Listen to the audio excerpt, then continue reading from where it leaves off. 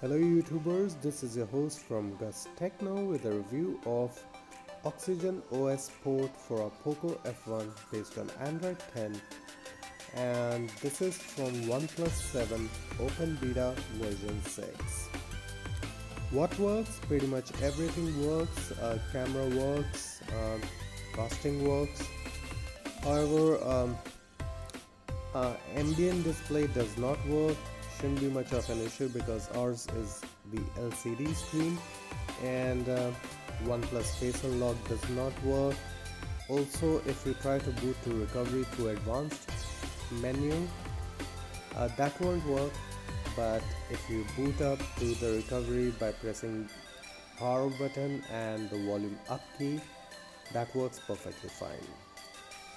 So. Um, uh, it has basically all the features which are available for the OnePlus users such as work mode, life mode, then you have game space, it provides you with Fnatic mode and graphic optimizations.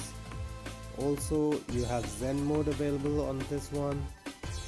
And uh, yep you have animated wallpapers which work and uh, there are few things uh, which need to be fixed in order for you to enjoy this ROM and I'll be explaining that further. So uh, first thing uh, when you boot it for the first time you may be stuck on the Oxygen OS logo. And if you're not able to boot onto the home screen uh, for more than 5 minutes I'll suggest you Turn off your phone by pressing the power key for some time, then reboot your phone again and you should be good to go.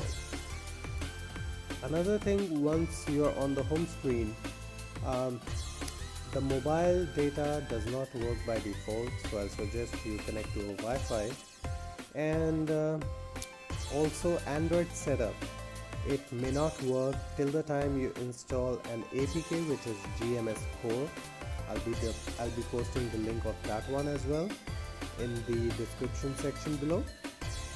And uh, once you do that your Android setup and mobile data should work. If it doesn't uh, try to reboot it once and set up your Android phone. Mobile data will definitely work then. Also uh, the, the CTS profile on this one is you know uh, initially it was false and it has already pre-rooted ROM all you need to do is install Magisk Manager and uh, to fix the CTS profile uh, you'll need BusyBox for Android NDK which is available through the download sections in Magisk and Magisk Hide Props Config and now I'll be telling you how to use these modules to fix your CTS profile.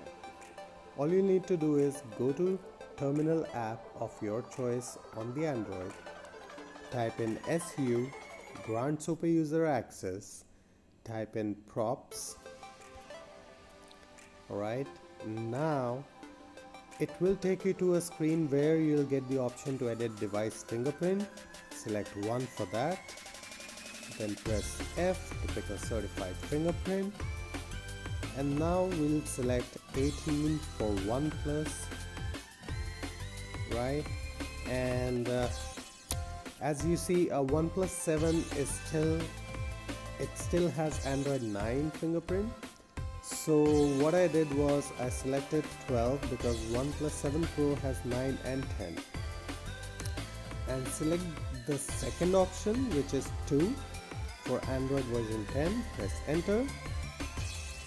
And now you'll need to type in Y.